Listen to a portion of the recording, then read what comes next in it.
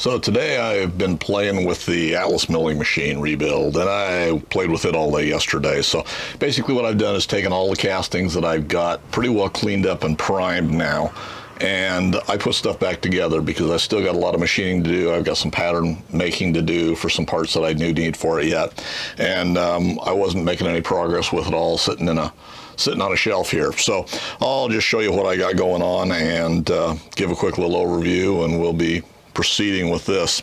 So I guess before I move the camera around, I needed the plate that goes on the back of the headstock. So today I spent building the pattern for that or starting the pattern for that.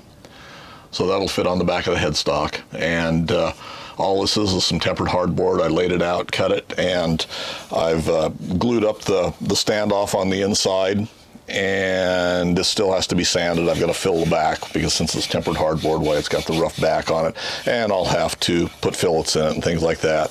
Go ahead and sand and radius the edges, but it won't take long and that'll be ready to go. So got that going on. I have uh, printed up the, a couple of the on-off switch labels that go on uh, that go on the mills.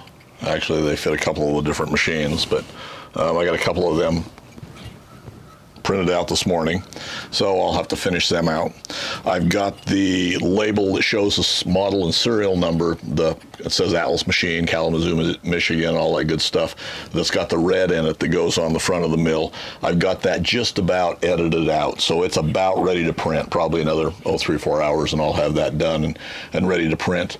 And uh, I plan on just printing that with the with the model number and the serial number that I assign it.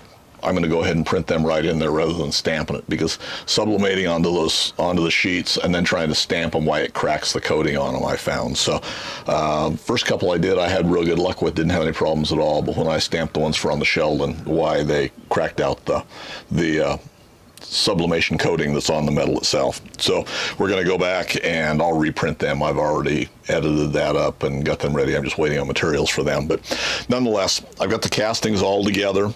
You're not going to see me do a whole lot of machining on this yet because I'm trying to get the new Sheldon lathe done. I'd rather uh, be machining on that machine than I would on the old Sheldon. Sheldon's got the one that I've been running for years, so it's got a lot of wear in it, and I would just prefer. That's why that's why I haven't turned the spindle for the grown-up Quorn tool and cutter grinder and things like that. So I put a lot of those little projects on hold that I should be finishing up, but I, I'm kind of holding out trying to get the other machine ready to go.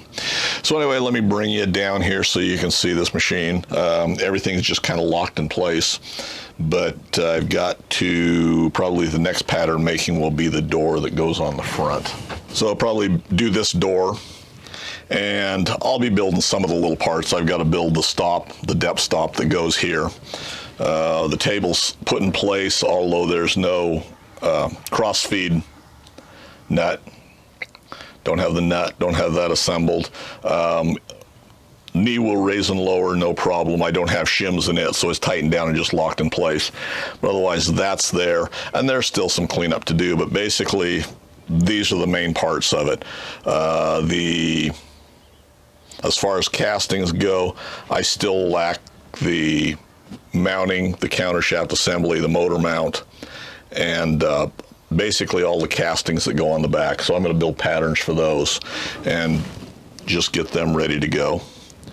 So otherwise, and I've got the little cover that goes underneath this cast up. I was going to machine it today and I haven't made it that far. So maybe over the weekend I'll get that done. Anyway, it's progress. I'm a little bit excited about it again. One more project I'm trying to get done. I got uh, these back plate castings hopefully done. I did two of them. Here was a pattern I ended up with for that little back plate on the milling machine. So there's what I started out with for pattern.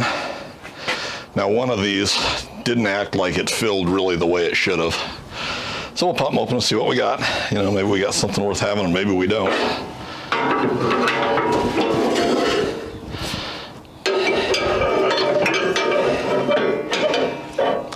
To go through and mull all the sand again. Uh, it's been hot enough here that it uh, dried it out. These were kind of on the verge of maybe they were maybe they were going to be okay to ram up molds and maybe they weren't. And they were a little bit dry, but uh, If they came out, well, we'll get real good castings out of them. This is not a complicated casting at all by any means. That one looks okay.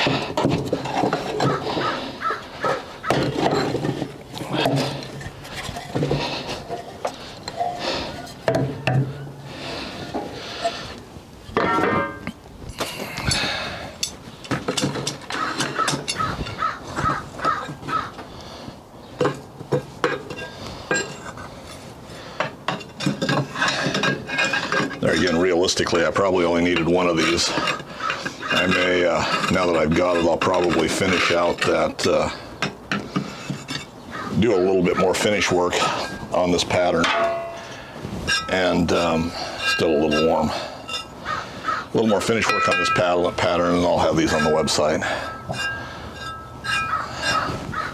Yeah, that'll be okay. A little bit of flashing on the edges. But all in all, that's a good usable casting. There's the first one.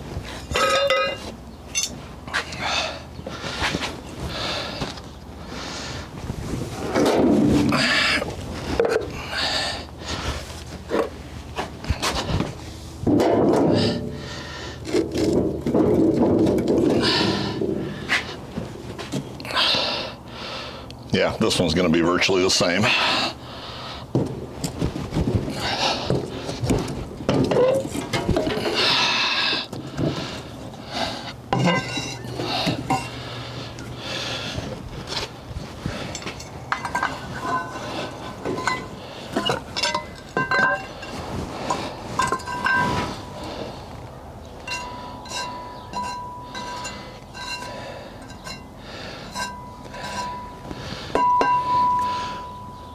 Sand was a little bit dry, and I noticed it didn't didn't pack real well around a couple of the edges. Um, but there again, that'll be a good casting. We got two of them, so I'll go ahead and finish them up and machine them out.